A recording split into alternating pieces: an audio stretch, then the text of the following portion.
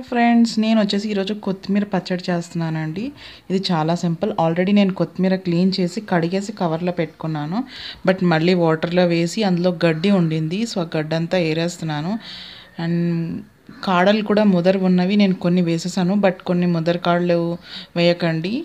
ఎందుకంటే ఆ ముక్క ముక్కగా కనిపిస్తాయి. నేను చాలా వరకు తీసేసాను. బట్ ఒకటి అలా వేసేసినప్పుడు ఉండిపోయాయి అనమాట సో దానివల్ల కొంచెం ముక్క ముక్కగా కనిపిస్తుంది. దీనికి మీరు స్టవ్తో పని అవసరం లేదు. చాలా సింపుల్గా చేసుకోవచ్చు. ఓన్లీ త్రీ ఇంగ్రీడియంట్స్తో మీరు కొత్తిమీర పచ్చడి అనేది చేసుకోవచ్చు. ఫోర్ ఇంగ్రీడియంట్స్ సారీ ఫోర్ ఇంగ్రీడియంట్స్తో మీరు కొత్తిమీర పచ్చడి అనేది చేసుకోవచ్చు. ఇది చాలా చాలా ఎమ్మిగా ఉంటుంది.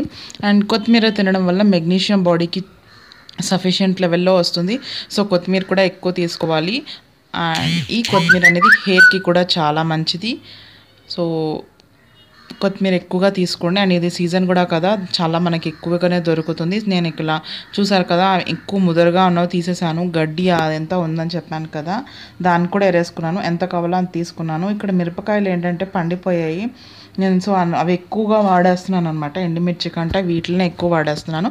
బట్ దీనికి మాత్రం మీరు పచ్చిమిర్చి వేసుకోవాలి. ఎండుమిర్చి కాదు. సో ఎన్ని ఎంత కారం కావాలి అనుకుంటే అంత కారం వేసుకొని పైన సాల్ట్ వేసేసుకోండి. ఇది మిక్సీ పట్టేసుకోండి మీరు. దాని తర్వాత ఒక హాఫ్ లెమన్ని కట్ చేసి ఉంచుకోండి. హాఫ్ లెమన్ని సీడ్స్ తీసేసి కట్ చేసేసి పక్కన పెట్టండి.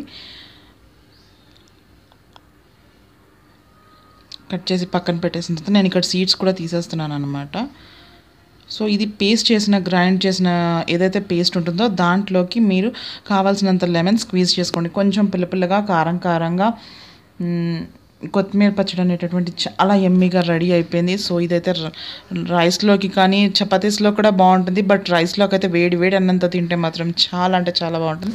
ఒకసారి మీరు కూడా ట్రై చేసి ఎలా ఉంది అనేటటువంటి నాకు కింద కమెంట్ సెషన్లో చెప్పండి. అలాగే మీకు ఈ వీడియో నచ్చితే లైక్ చేయండి షేర్ చేయండి అండ్ సబ్స్క్రైబ్ చేయడం అస్సలు మర్చిపోవద్దండి. ఇది వచ్చి చాలా చిమ్ చాలా సింపుల్ చిన్న రెసిపీ. సో ట్రై చేయండి. ఇది మా బామ్మ చేసేది. అందుకే నేను మీతో ఈరోజు షేర్ చేసుకున్నాను థ్యాంక్ యూ.